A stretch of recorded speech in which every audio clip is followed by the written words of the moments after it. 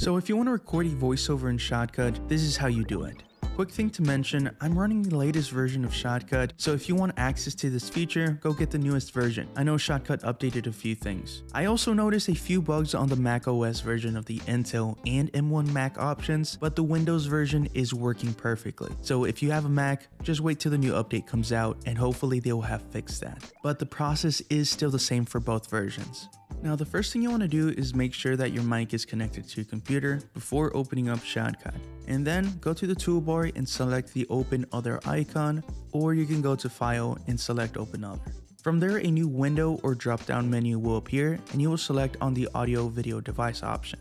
Under the audio input, you can see the different mics that you can choose from depending on how many mics you have. From there, you can choose whichever mic you want to use. For me, I'm just going to use my Shure microphone. Now, if this is the first time you're doing this, you will have a pop-up asking you if you allow Shotcut to have access to your mic or camera, depending on what you're connecting. Just press yes to connect your mic, and then click OK to close that window. And as you can see, the preview screen has turned white and is picking up some audio from your mic. Don't panic, just hit stop on the playback settings and then go to your timeline and select on your video clip and it should instantly switch back to normal. Now that your mic is connected, you can go back to your timeline and start recording. If you look at your audio meter window here, depending on where you placed it in your workspace, you will see the audio levels moving when you're recording. That just lets you know that your mic is connected. Just make sure it doesn't reach the red or your audio will be too loud and it won't sound good. But before that, a quick tip. Another cool feature that Shotcut added is the notes feature, which you can find in the top toolbar or in this little tab right here. This basically lets you write and keep notes about your project, or it can act as a place to hold your script to read while you're recording, just like I'm doing right here.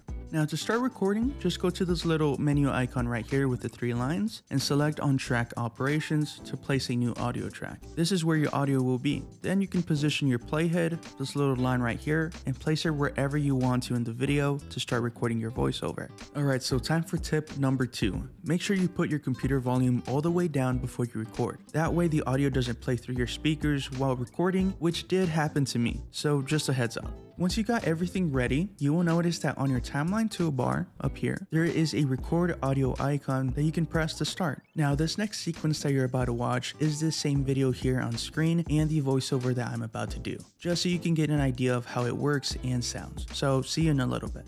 A quick thank you to Motion Array for partnering up with the channel. As you know, Motion Array is basically a one-stop shop for all your video post-production needs. They contain a large array of premium quality templates, stock videos, and music for you to download to help you make better videos faster and easier. All you gotta do is make an account with them and you will have access to all of the free assets available and you can find whatever you need and download it in just a few clicks. Just that easy. And each template and asset also comes with a tutorial just in case you need some help. Or you can try one of the many subscription plans that Motion Array offers and download whatever you want and use it whenever you want to. You can cancel at any time and all your assets will still be covered. So if you want to try it out, you can use my link in the description and try it out for free. And if you decide to register for any type of subscription, you'll be making yourself a favor and you'd be supporting the channel as well. So thank you. Wow, just look at me recording the ad read and doing the tutorial at the same time. But aside from that, once you're done, you can press the record audio icon again to stop the recording and you are all done and you can see the new recorded clip on your audio track. Now I'm going to show you where you can find some more tools that you can use to edit your audio aside from just cutting and splitting it. If you select your audio clip in this track and go to the filter tab here and select on the plus button and switch to the audio page up here, you can find a variety of audio filters and effects that you can apply to make your audio sound even better, just like I'm doing right here. Now I'm not going to go super into depth, I just want to show you where you can find more of these tools to edit your audio. In fact, Shotcut has a dedicated page that you can switch to in this top toolbar called the audio page. And there you can edit your audio with even more control. And that's all to it. Now if you want to export your video or just the audio, you can just export it over here and choose the H.264 for video or the WAV or MP3 for audio. However, if you want the best settings to export on Shotcut, I made a super detailed video that you can go check out.